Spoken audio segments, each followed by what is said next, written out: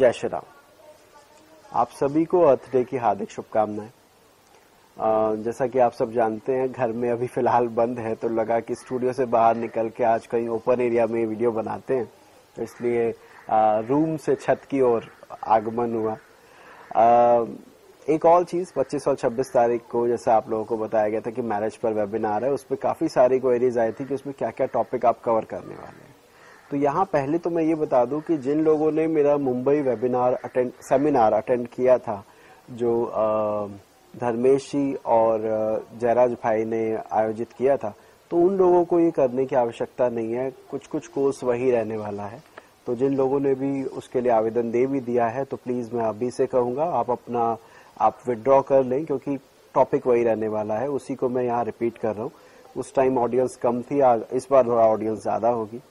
तो टॉपिक क्या क्या रहेगा, मैं एक बार फिर कवर कर देता हूँ। देखिए, सबसे पहले तो जिस विषय पर हम बात करेंगे, वो है कि क्या कुंडली मिलान की आवश्यकता है भी कि नहीं? काफ़ी लोग कुंडली मिलान में विश्वास नहीं रखते। उन्हें लगता है कि भैया, कुंडली मिलान का क्या फ़ायदा? अगर जिस तरह का पार्टनर आपके चार्ट में लिखा है, उसी तरह का पार्टनर आपको मिलना है। तो कुंडली मिलान में टाइम वेस्ट क्यों किया जाए? तो एक तो इस विषय के बारे में बात होगी। दूसरा कि कन्वेंशनल मेथड क्या है कुंडली मिलान के? कुंडली मिलान कैसे बताया गया शास्त्रों में करने के लिए? जैसे आपने सुना होगा, अष्टकूट मैचिंग क्या होती है? मांगलिक दोष क्या होता है? ये सब पर हम चर्चा करेंगे। इसके बाद टाइमिंग ऑफ़ मैरिज को लेंगे। टाइमिंग ऑफ़ मैरिज में क्या ले सकते, क्या क्या हम कवर करने की कोशिश करेंगे कि जिन लोगों की पत्रिकाएँ ना भी हो तो क्या हम उनकी कुंडली बिना बनाए भी उनकी मैरिज की टाइमिंग निकाल सकते हैं। तो इसमें प्रश्न कुंडली बहुत हेल्प करती है। तो कुछ प्रश्न कुंडली के सूत्र मैं आपको बताऊँगा जिसके द्वारा हम इसको इस्तेमाल किया कर सकते हैं। आ, इसके अलावा ये तो रहा वो जो कॉमन टॉपिक है जो आपको कहीं ना कहीं मिल जाएँगे। इसके बाद हम बात करेंगे unconventional method of chart matching normally जिस पक्ष को देखा नहीं जाता है और सिर्फ़ सॉफ्टवेयर के through you know chart matching कर दी जाती है, गुण इतने मिल रहे हैं मांगलिक दोष आ रहा है कि नहीं आ रहा, उसी के बेसिस पे बात कर दी जाती है। तो उससे आगे क्या है? और जिस चीज़ को देखना अनिवार्य है, वो हम बातें करेंगे कि चार्ट मैचिंग कैसे करनी चाहिए। उसमें अष्टक वर्ग का भी रोल आता है, वो भी मैं आपको बताऊँगा। इसके अलावा दशा कंपेटिबिलिटी देखिए हस्बैंड वाइफ की मैरिज के बाद कई बार ऐसा देखने में आता है कि वैसे तो बहुत अच्छी बन रही है दोनों में। बहुत अच्छा लंबा रिलेशन चल रहा है। लेकिन एक समय ऐसा आता है जहाँ पर दोनों में इतना तनाव हो जाता है कि एक दूसरे की शक्ल देखना भी बर्दाश्त नहीं होता है। और अगर उस अवधि को कुछ समय के लिए टाल दें या निकाल दें तो वापस वो वैसे ही हो जाते हैं जैसे पहले थे। तो इस तरह की अवधि कब आती है, उसको किस तरह टैकल करना चाहिए, उसके बारे में बात होगी। क्वालिटी ऑफ़ मैरिड लाइफ कैसी देखी जाती है? अब जिनकी विवाह हो चुका है, वो तो अब चार्ट मैचिंग में नहीं जा सकते। अब तो उन्हें निभाना है। तो आ, किस ज़रिए से किस किन किन किन बातों का ध्यान रखकर वो अपनी मैरिड लाइफ को और इम्प्रूव कर सकते हैं?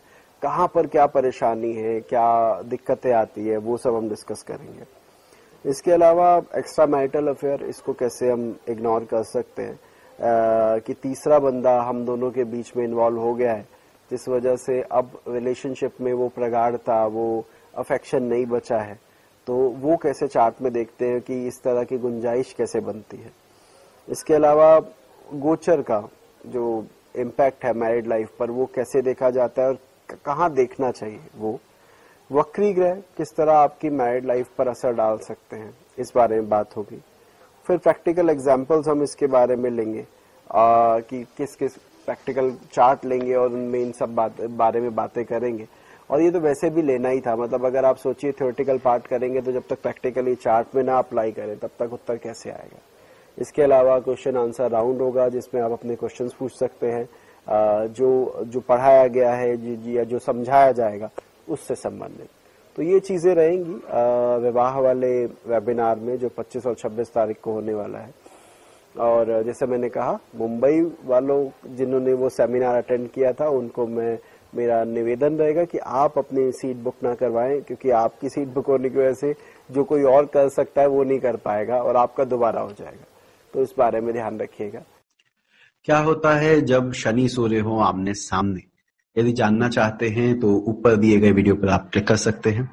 कारक और भाव के संबंध को कैसे देखना चाहिए? यदि इस विषय में आप जानना चाहें तो ये जो नीचे वीडियो दिया गया है, इस पर आप क्लिक कर सकते हैं। मिलते हैं अगली बार।